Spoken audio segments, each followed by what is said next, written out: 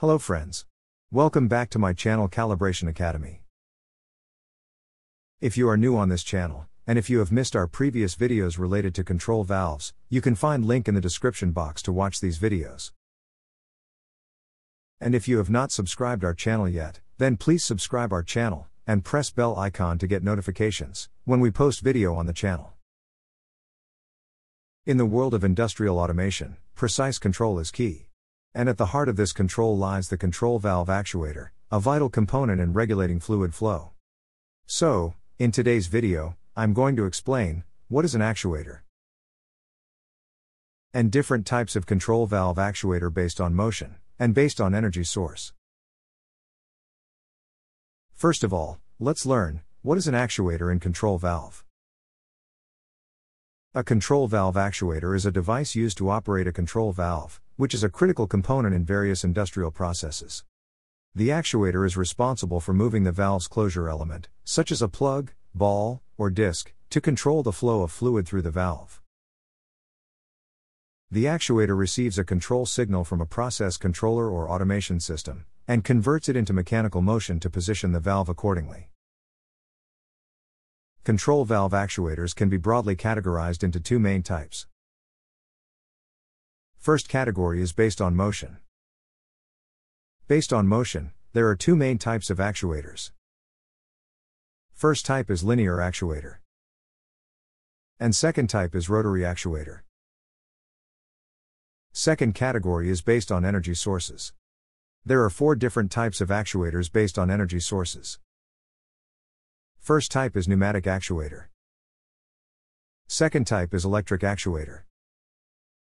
Third type is hydraulic actuator. Fourth type is electro-hydraulic actuator. First of all, let's learn about linear actuator and rotary actuator. As names suggest, linear actuators produce linear motion, which is used to operate linearly controlled valves such as globe valves and they are designed to move the valve stem in a straight line, either pushing or pulling the closure element to modulate the flow.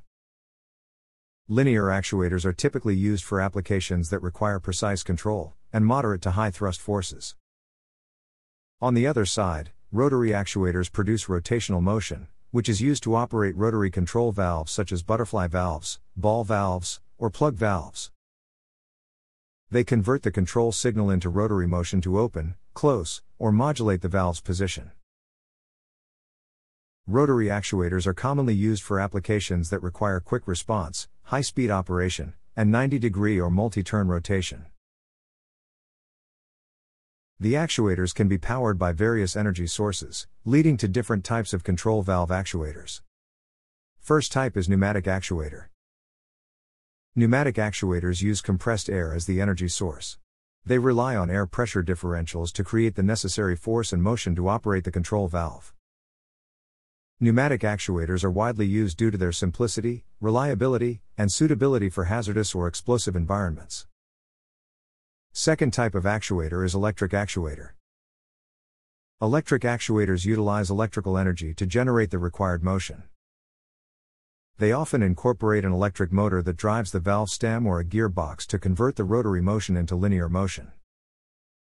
Electric actuators offer precise control, positional feedback, and the ability to integrate with automation systems.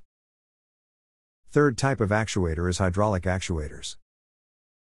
Hydraulic actuators use hydraulic fluid under pressure to generate the necessary force and motion. And they are capable of providing high thrust forces and precise control, making them suitable for large valves or applications with high pressure differentials. Hydraulic actuators often require a hydraulic power source, such as a pump or accumulator. Fourth type of actuator is electro-hydraulic actuators. Electro-hydraulic actuators combine electrical and hydraulic principles.